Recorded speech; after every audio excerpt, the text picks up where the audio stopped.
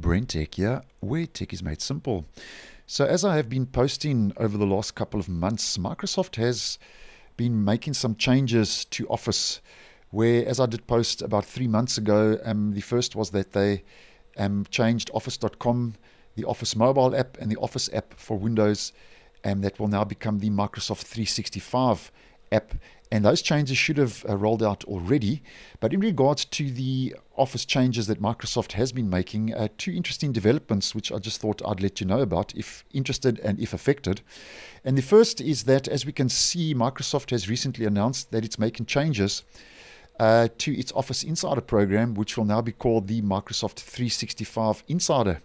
So, basically, um, in a nutshell, what this means is that they are changing the program's name to Microsoft 365 Insider, but the changes won't affect um, Insider updates. So um, it's not going to affect the way you received any updates for Office in the Insider program. It's just the name change from Office Insider to Microsoft 365 Insider. And also in this announcement, Microsoft has also stated that they will be adding uh, the different program related web and social media accounts uh, to acquire these changes um, of Office Insider becoming the Microsoft 365 Insider. And um, these changes started rolling out on the 18th of January, which was yesterday in my region. And Microsoft says they will continue through to the end of March, where all the different transitions from um, Office Insider program to um, the Microsoft 365 Insider program will take place from now until the end of March. So, if affected, just take note of that. And I will also leave a link to this post in the description if you'd like a little bit more in depth info and um, if you are in the Office Insider program.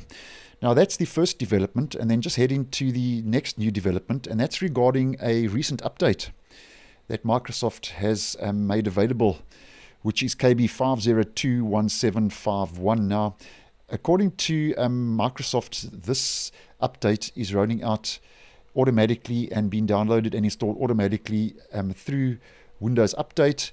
And basically, what it's doing in a nutshell is it's checking if there are any unsupported versions of, of Microsoft Office installed on your system. And basically, it's then going to notify Microsoft that those unsupported versions of Office are installed. Now, um, basically, the improvements and fixes, Microsoft just lists one paragraph. And this is what the update is all about.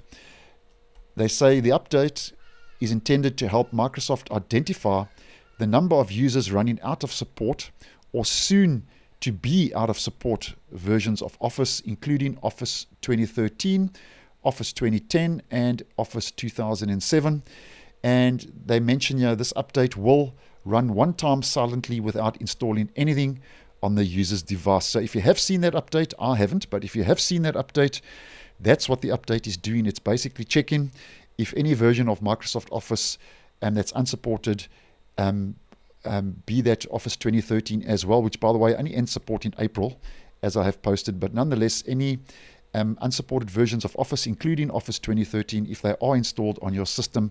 And at this stage, though, um, Microsoft doesn't say why they are basically getting this information and gather, gathering this information with KB 5021751.